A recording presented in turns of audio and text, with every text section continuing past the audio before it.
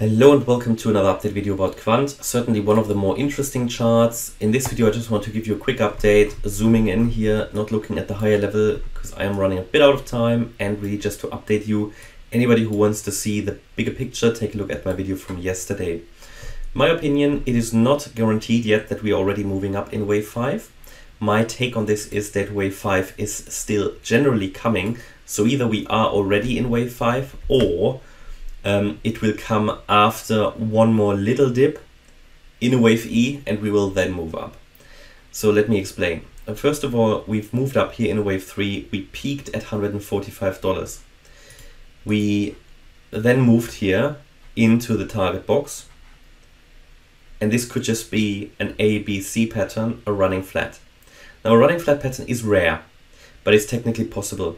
So from here, which was at around $128, there is definitely a chance that we are moving up in wave 5 now into this area between 151 and 167 dollars. This is not confirmed yet.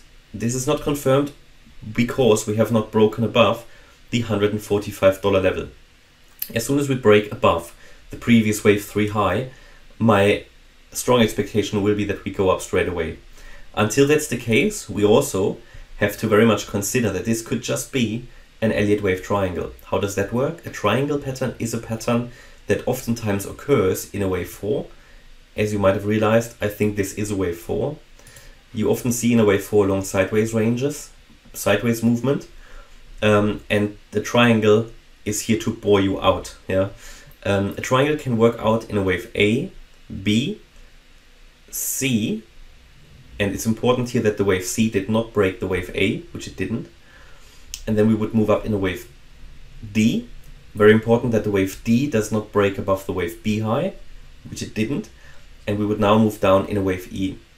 And the target for that would be $132.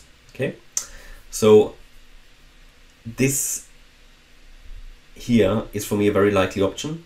And then we would move up from here in wave 5. So these are the two options. So really waiting here for the $145 level breakout. That would indicate strongly we don't see the triangle, we're breaking out straight away.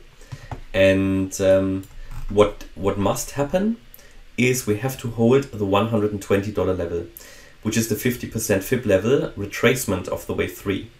If we drop below that level, it's very unlikely it's still a wave 4, and we might actually already be on our way into this larger wave 2 retracement and have to assume that the wave 4 was already in here, that the wave 5 was already in here, and that all we are doing now is coming down in a wave 2 in an A, B, C pattern down into the area between 100 and 117 dollars.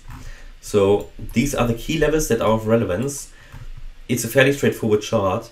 These key levels should tell us where we're heading. Um, at the moment we're in a range. I think waiting for the range to break out to get a bit more clarity is not a problem. We obviously were here in the support area. Yeah, there was a chance to buy again for anybody who wanted to. And I'm not telling you to do this. This is entirely up to you, but these are the areas where I personally expect prices to reverse. We had a reversal here and we had a reversal here. We had several reverses. Here's one, here's one, here's one. This one was missed by a few dollars. Here was one, here was one. So there's another one and there will be one here. Now we need to see how high Quant really pushes. Um, if this is a wave 5, I would even give it the possibility to max out completely that green area and maybe even overshoot it. Okay, so let's see. Just want to update you quickly on Quant. Hope you liked the update. If you did, please hit the like button, leave a comment and subscribe. And if you really like the content, please check out the channel membership. Thanks a lot for watching. Bye bye.